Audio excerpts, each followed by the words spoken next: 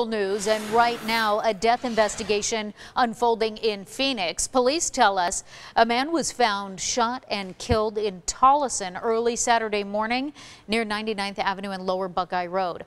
Officers say it looks like the man died from a gunshot wound, but they are still investigating as they question people in that area.